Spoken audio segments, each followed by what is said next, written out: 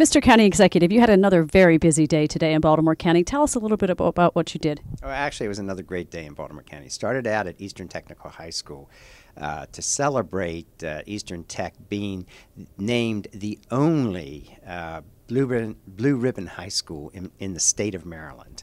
And now they'll go on to the nationals. I mean, it was just a great day. The kids were.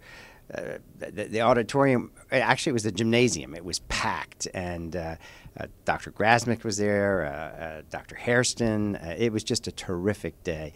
And, and you know, it, it, it, it's a school that is, it's, it's academically at the top of its game, but it also uh, the uh, the concert band played and they were wonderful and and we celebrated in the gym and all those banners uh, and and just the regional championships that they've won this year and in volleyball and soccer and the two uh, two A division uh, football they won the state championship so I mean it, it was really an exciting exciting morning.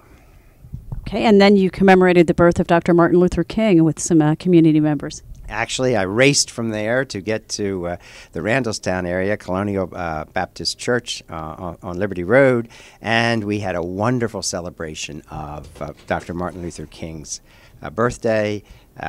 We had speeches, and we had a wonderful skit and song by the Colonial Baptist Christian Academy students, and it, it was just it was just terrific. Dr. King would have been proud, and believe me, I was proud.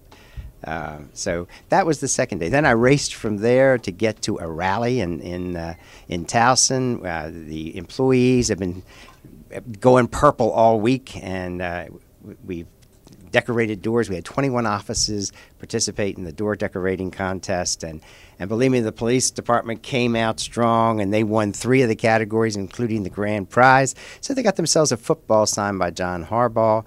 Uh, everybody's revved up. We believe we can do it, and we are anxious to get out on that field on Saturday night and show the world that we can do it. And it, it was just a great rally. Everybody was up. It was just fun.